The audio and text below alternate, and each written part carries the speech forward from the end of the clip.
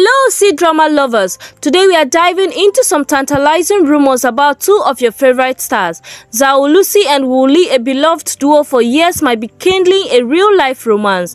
Recent sightings of the pair outside of work have stirred up gossip, especially after they were seen enjoying what looked like an intimate dinner in Belgium. Could their on-screen chemistry be evolving into something more off-screen?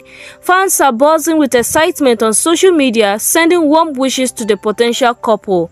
While both actors cherish their privacy, observant fans have spotted subtle signs of a deeper bond. Of course, it's crucial to respect their boundaries and there's been no official word yet. But the idea of DC drama stars finding love together is undeniably exciting and amazing.